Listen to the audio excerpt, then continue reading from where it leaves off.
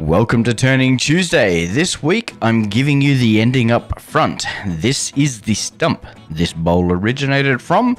It was a beautiful river she oak on the shores of the Cudgegong River in Mudgee. The she oak, unfortunately, the top of the tree had started to die off from borer bugs, and as a result, it was removed. Not wanting to waste such an opportunity and a beautiful tree, I chose to give this section of the tree a second chance at life. This is the first sharpen of 14. I underestimated just how dense and hard Casuarina is. This one beat me up for a while, don't worry, not all sharpens were included in the video, so I'm not going to make you be bored through that. But yeah, this was some very hard wood, and it definitely earned its place as one of Australia's hardest. This piece of wood specifically has been sitting on my shelf for about two years. Unlike a pirate map, X does not mark the spot on this one. The original X was while I was trying to take the corners off with the chainsaw, and I noticed that the back of it was not that square, not very flat, and so it just didn't quite work for what I was aiming for. So, when I mounted on the lathe originally, I moved it across with a spur drive, and I'm reusing the same hole, I just dug it out to put the woodworm in. So now I am focusing on getting some balance and you're about to witness the balance is not good. So as you can see, I'm giving a quick rotate around and you'll notice it keeps swinging down to that bottom point. Yes, that's very out of round.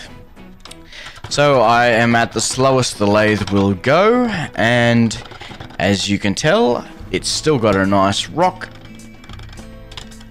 And it is beating the absolute crap out of me. So I am here in about five times speed. And it still feels really, really slow.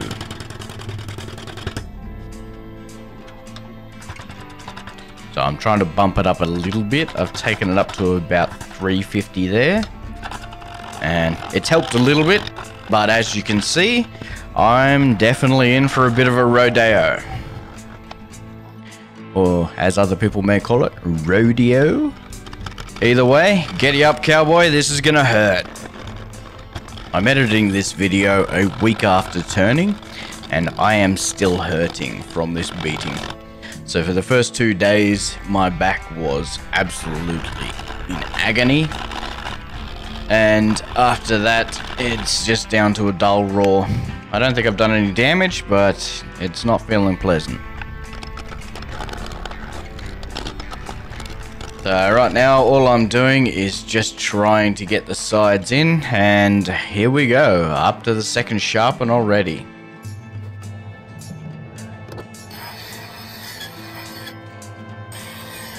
So you may notice here I'm using the Savannah Pro Grind system on a Sherwood low speed grinder. That's a 180 grit CBN wheel. I like the CBN wheels because they don't shrink in size over time and they just are really quick to get a nice edge on.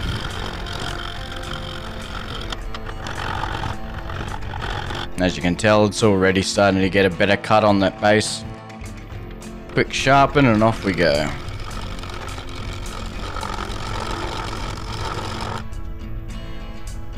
And as you can see, the lathe is still rocking.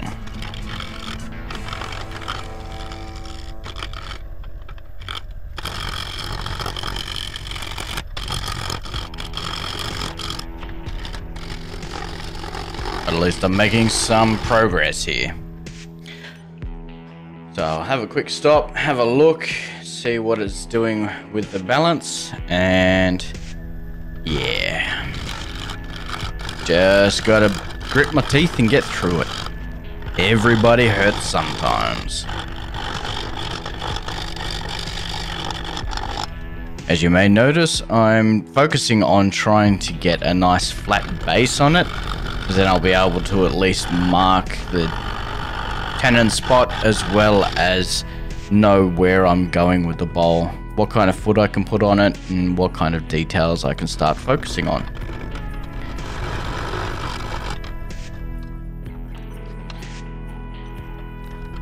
So step one was get down past all the bark wonkiness and then I would come back and start focusing on getting a nice edge on it.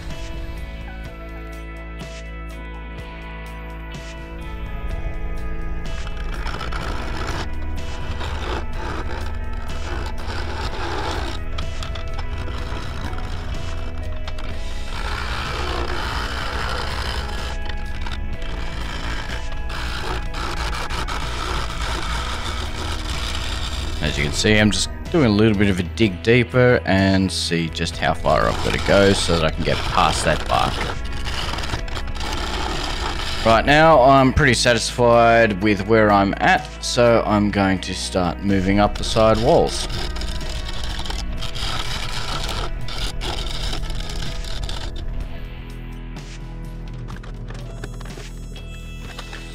Most of the wonkiness of this piece was coming from that base, as you can see, I've just done a quick mark there and I'm going to try and push it in and get past most of that outage there. So, as you can see, I've got a nice cut from where the chainsaw was. So that's created a nice diagonal. And I'm just trying to slowly take it in and work it out.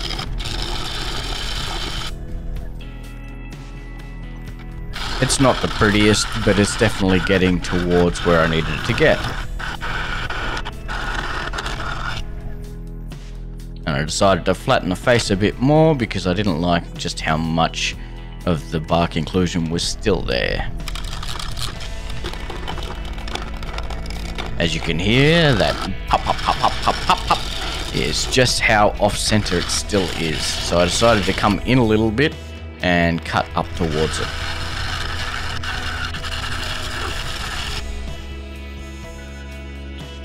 Now I'm having a quick look and I'm trying to make that flat spot a bit more visible to my eye while it's spinning. So I just colored it in with a pencil and I can actually see that dark line as it's going around.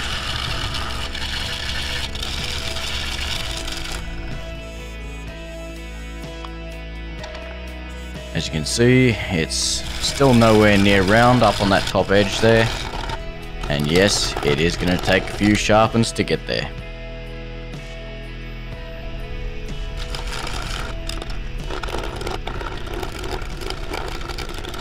You may notice that I'm flipping the tool backwards and forwards. I'm trying to use as much of the tool as I can because this is really dense and every time I sharpen I try to keep it even. So using both sides of the tool allows me to try and dull it evenly. So when I sharpen I'm not wasting any of the metal.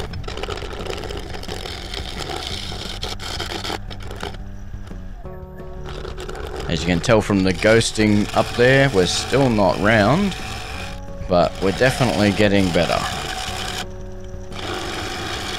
Right now, I've decided to grip my teeth and just try and go straight across.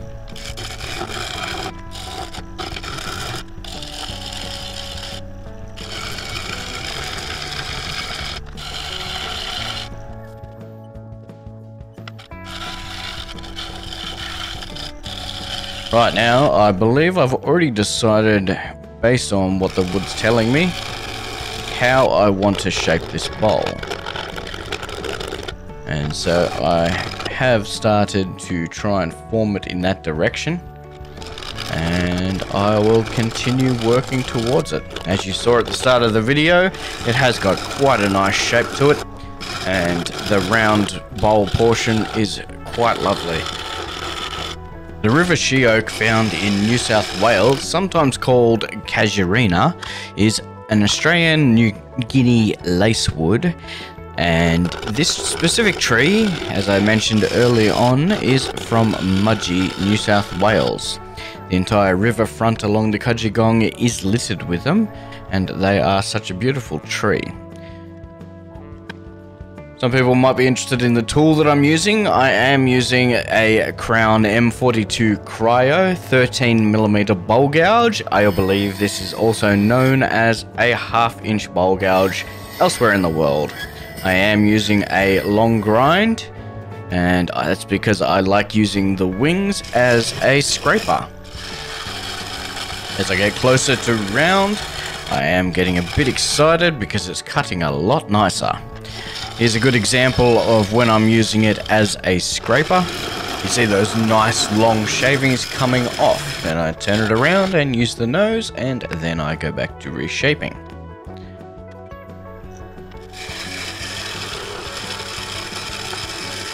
So here I decided to cut in a little bit more and get past that miscut that I had when I was playing with the bandsaw trying to get some of the edge off. As you can see, there's a big flat spot up there with a nice big chunk.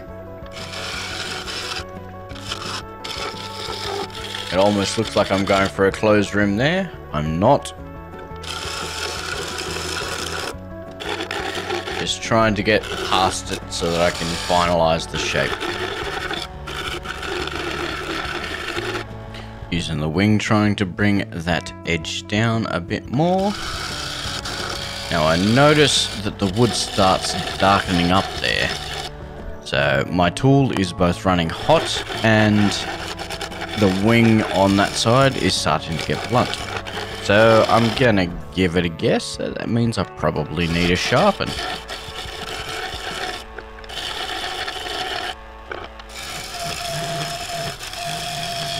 And given the amount of shininess that I'm seeing here, it needs a sharpen.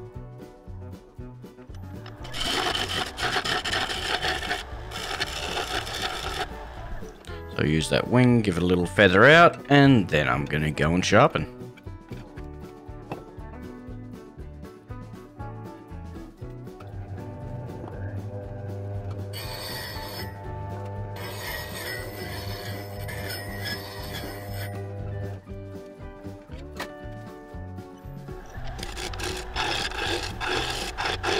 Right here, I'm doing some pull cuts across the face, trying to flatten it out. Because it was still quite rough. And I suspect if I take that down, I can really get the speed up a bit more.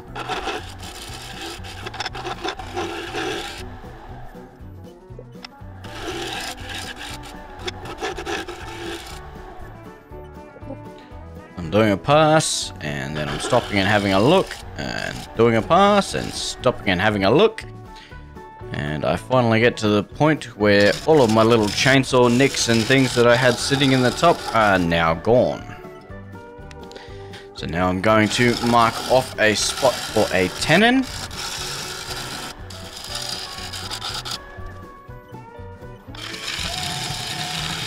First thing I'm going to do is finish trying to clean up that bark inclusion. So bringing that down, then reshaping, making sure I'm still keeping it consistent as to how I'm wanting it. And then I'm going to turn it around and I'm going to take off that little nub. I'm going to get a nice flat face on this and then I'm going to mark it.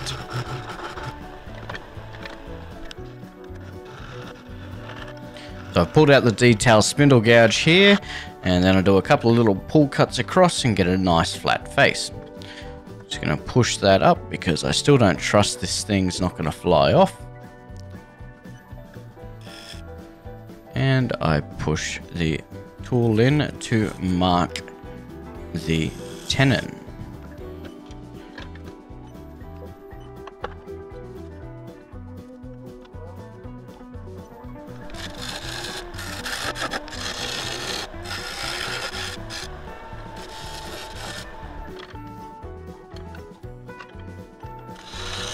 Satisfied with that, I'm now using the detailed spindle gouge just to sharpen up that corner to grab it with these shark jaws.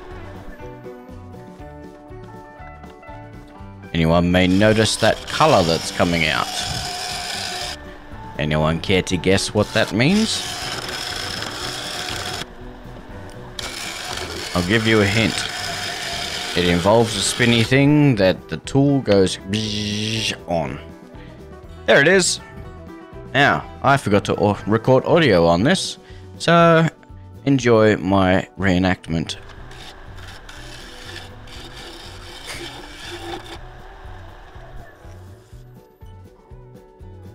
So quick sharpen and I can get rid of those black lines. We are currently in 5 times speed and it feels really slow. I'm just letting the tool cut as it wants to. I'm just slowly working up. Create some black lines, erase the black lines. I'm actually becoming very satisfied with the shape that's coming out of this.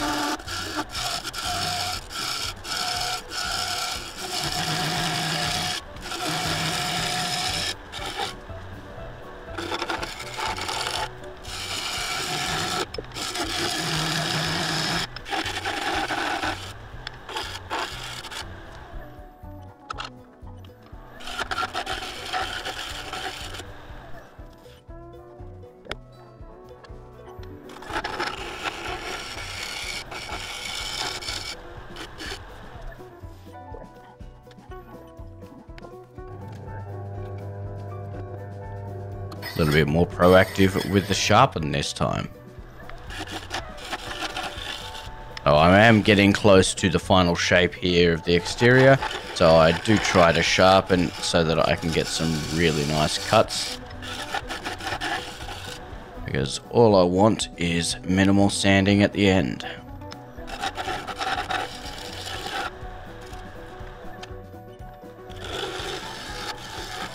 In my last video, you may have noticed that I was using my power sanding on the Dremel.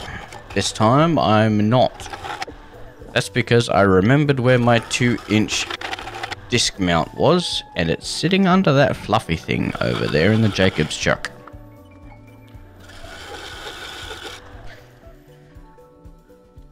So, before I sand, I decide to backfill all these little bug holes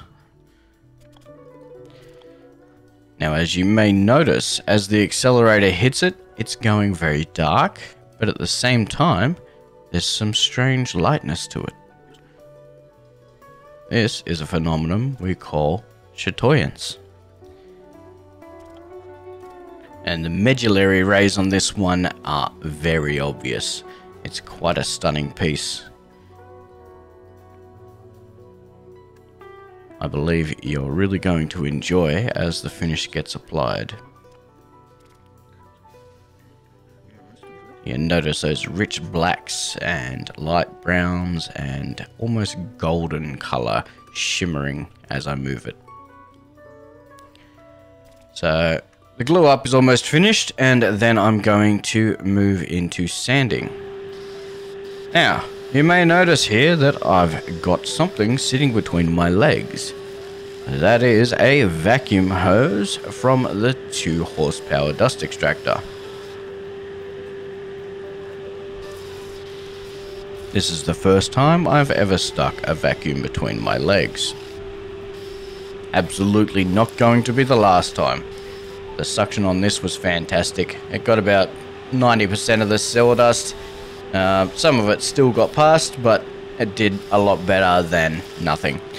And again, this is why we wear the respirator, because we need to spare our lungs. So something funny happened here, and you'll notice that I keep having a look and poking it, and up on the area around the medullary rays, it actually found a soft spot while I was sanding. So I got up to 320 grit and I noticed that I was starting to get some strange tear out. I started having a chat with Sid from Sid's Repurposing and discussing if he'd seen it and how he'd combat it. There's those soft spots now. Um, and we weren't sure what was causing it, but Sid's had the suggestion that it maybe was a soft spot that I hit. So what I did was backfilled that with some glue and that fixed it up nicely. So once I put the glue on, I took it back to 80 and then I sanded it up to 2000. Most people say don't sand that high, but for me, in this specific case, I wasn't trying to get a finish as such. I was trying to allow the shine of the chatoyance to really stand out. And I believe going to a smoother, higher grit has really emphasized that chatoyance. You be the judge, let me know what you think in the comments. If you're enjoying this content, please like and subscribe. Now's a great time since we're in the sanding portion and we all know sanding is boring.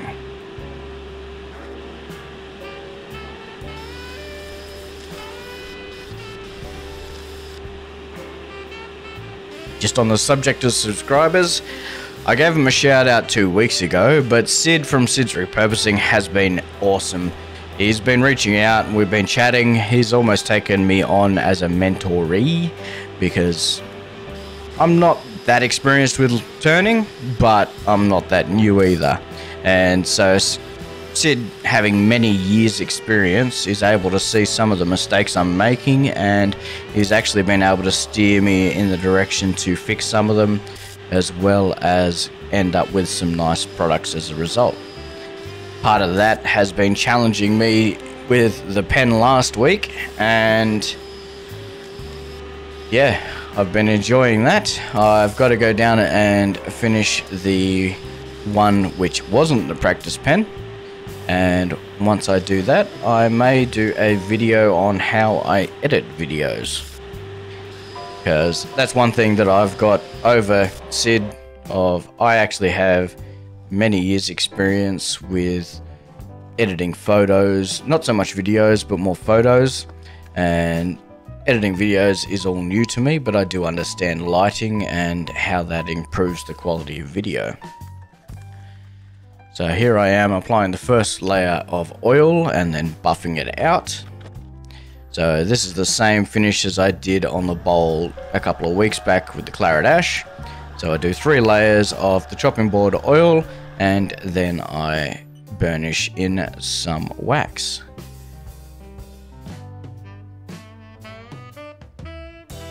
At this point I really start to notice that golden shine on that corner. So I wanted to try and emphasize that and show it to you because this made me very happy with how much quality is in this wood. So now I'm going to flip the bowl around and I am going to turn it into a bowl. Happy that I'm 90% square and going to continue.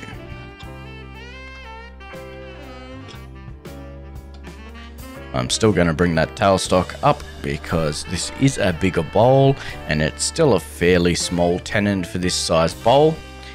But in this case, it's not too bad. It actually works out quite nice. As you saw the other week, I like to use the ring method, where I use the tip of the tool and I dig in with one wing, then I come back with the other side and clean it up to start the curvature. Each time getting a little bit more and more deep, and eventually getting a nice bowl finish. But again, river she oak is very hard, so I do take it a bit slow and I do sharpen frequently.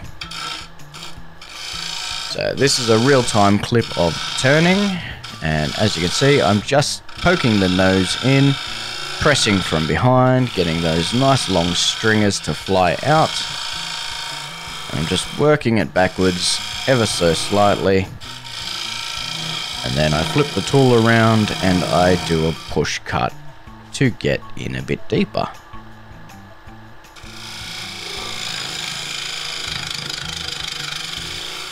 You may have heard that little vibration there.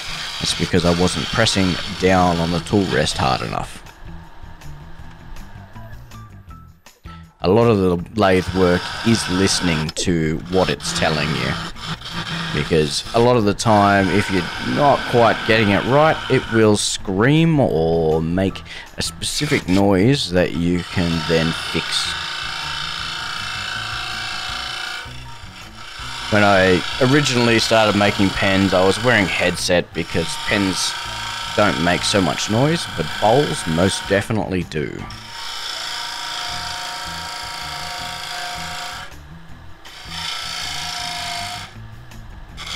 And now we're going to go into high speed mode and let's get this done. Right there, I've taken the tailstock off completely. I also went and had lunch and came back out. Just dropped the tool rest a little bit because I wasn't able to get rid of that center. And now that I've got that tailstock out of the way, I'm able to swing the tool way over to the right there and get it in a lot straighter.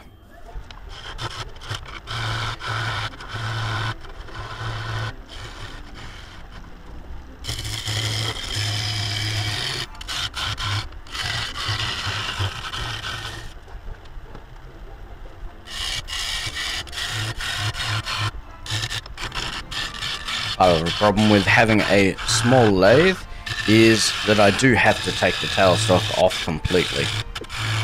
I may at some stage in the future look at getting the bed extension just so I don't have to do that.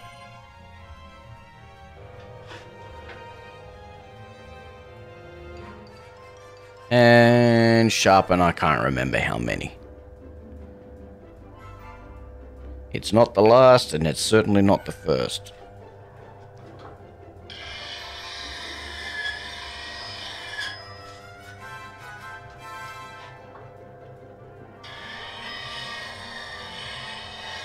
As you can tell, I'm just giving it a quick touch up. So I do the wings first, I give them a real good focus, and then it's just a quick rock around the front.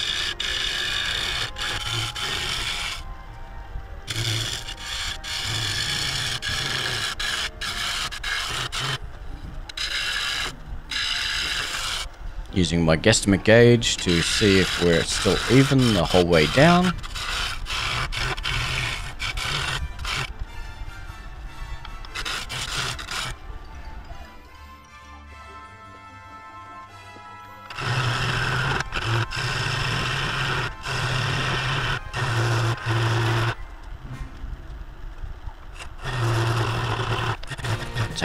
Center out so that I can go a bit deeper.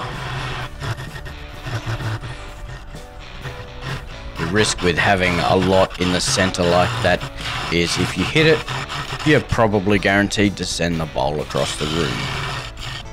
So it's all about being gentle and being a little bit finessed with where your tool is riding. Understand what you're hitting and where it's going to impact. Now I've noticed here, the video actually looks like my tool is above center. It's actually not, it's just reaching out a long way. And it is... I think just the angle of the camera causing that. But as you can tell, give it a quick go and get rid of that center again. And now I can focus on getting a nice smooth bowl shape. May have noticed there, I jumped over a section. I should go back and fix that up.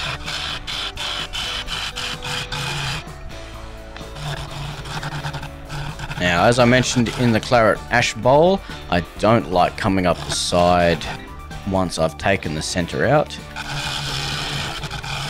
because that can cause much worse issues.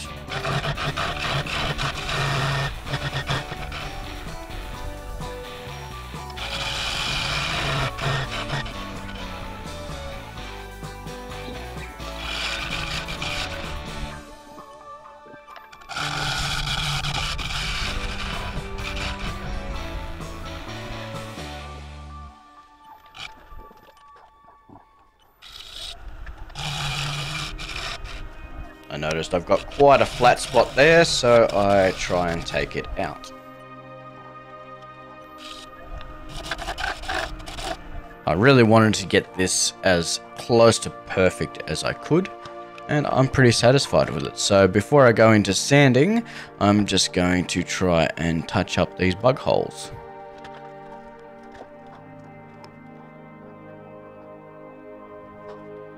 As you can tell, there is quite a few of them.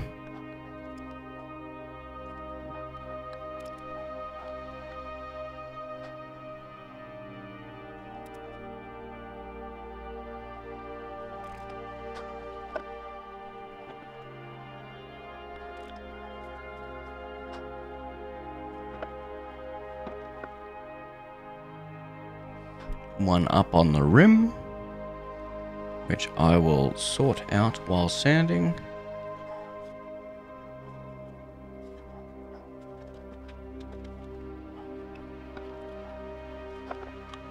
Now, at this stage, I am satisfied with how the bowl is coming together. So I am going to move into sanding. I started with some 80 grit. I realized I was getting absolutely nowhere. And so I jumped over to some 40 grit. So I grabbed some 40 grit, I put some foam inside it to try and take out some of the heat. Yes, you don't really want heat while sanding, but at the same time, I also wanted to sand. I've now jumped straight towards a couple of grits up higher. And you'll notice the shine really starting to come out. Again, just like the exterior, I sanded 2000 grit.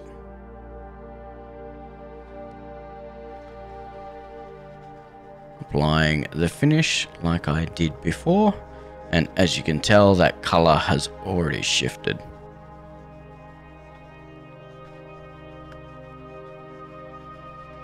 So I did three coats of oil and then I put some beeswax on. Right now I'm just getting rid of the excess and then I move in to burnishing in the beeswax. I didn't capture while I was putting the wax on, so I'm sorry about that, but the wax is now on and here is that beautiful finish.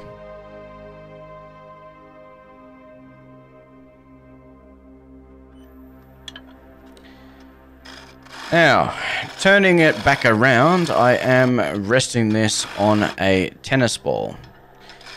I should have stopped as soon as I noticed that, and I didn't.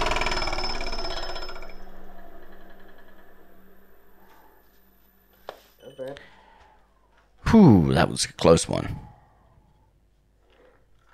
Take two.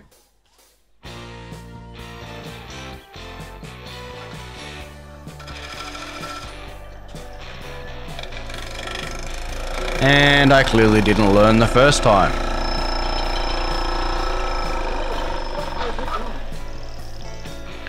And as you can hear, I'm starting to get frustrated at myself because silly mistakes are avoidable and I didn't learn. So taking the tenon down now, as you can tell, it's still not rotating perfectly.